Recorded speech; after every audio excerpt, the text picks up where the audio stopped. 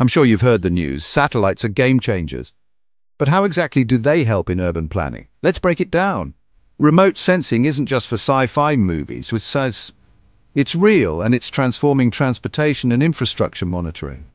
High-resolution satellite imagery helps map roads and highways, detect unauthorized paths, and monitor road conditions over time.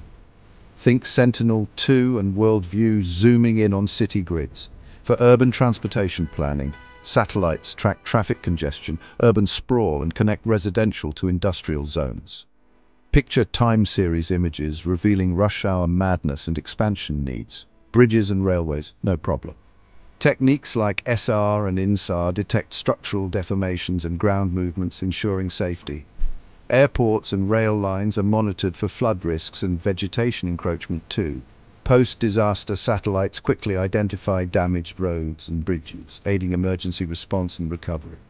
And for construction, remote sensing ensures projects stick to plans and spot any illegal builds. In short, satellites make urban planning smarter, safer, and more efficient. Cool, right?